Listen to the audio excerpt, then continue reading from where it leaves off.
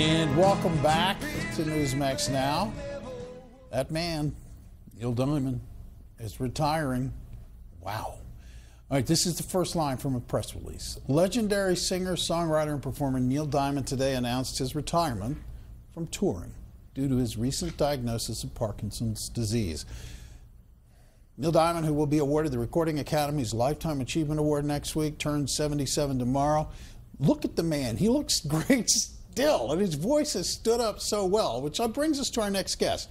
Here to talk about the advancements being made in the fight against Parkinson's disease and how you can help if you know someone who is suffering is James Beck. He is the Chief Scientific Officer for the Parkinson's Foundation.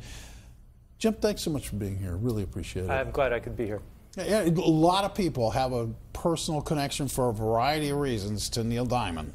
Uh, the, the, man's got more songs than we could list in a half hour show. Great singer. He's a great singer. Why? My question is why? Why would Parkinson's sort of indicate, okay, Neil, it's time to hang up the traveling boots and stay at home? You know, for most people uh, with Parkinson's disease who don't lead that kind of uh, multi-continental world tour, I, Parkinson's disease is not going to really slow them down when they get that initial diagnosis.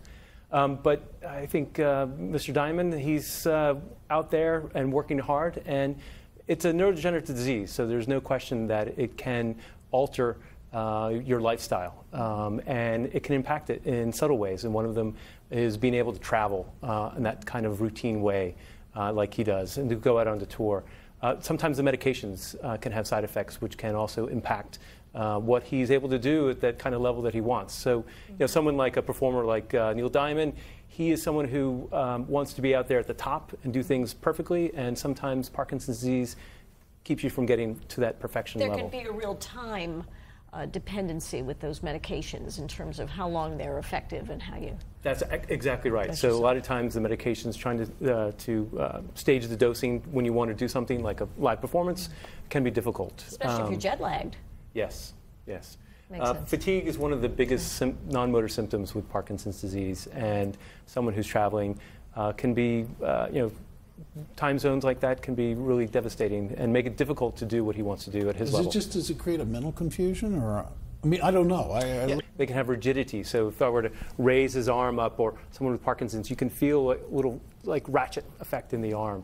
Um, they can uh, have a, a, slight tremor in their hands. Not everyone does, but a lot mm-hmm. of people do. And, and they can have sometimes problems with, with posture and, and uh, walking as they experience a disease that moves on. It, these are you know, typical symptoms with Parkinson's disease. And some of the ones we don't hear about very much, that what are called the non-motor symptoms that are, that are hidden, um, can be fatigue. Uh, sometimes can be mental confusion, but it's more likely um, akin to attention deficit disorder. They have a hard time making sequences and, and tasks and, and staying on, focused on a particular subject. But mm-hmm. um, a lot of those things are, are very manageable and very minor, mm-hmm. usually early on in the disease. Mm-hmm. What's on the horizon, Jim, for people like Neil Diamond and the you know, thousands of people who share that condition?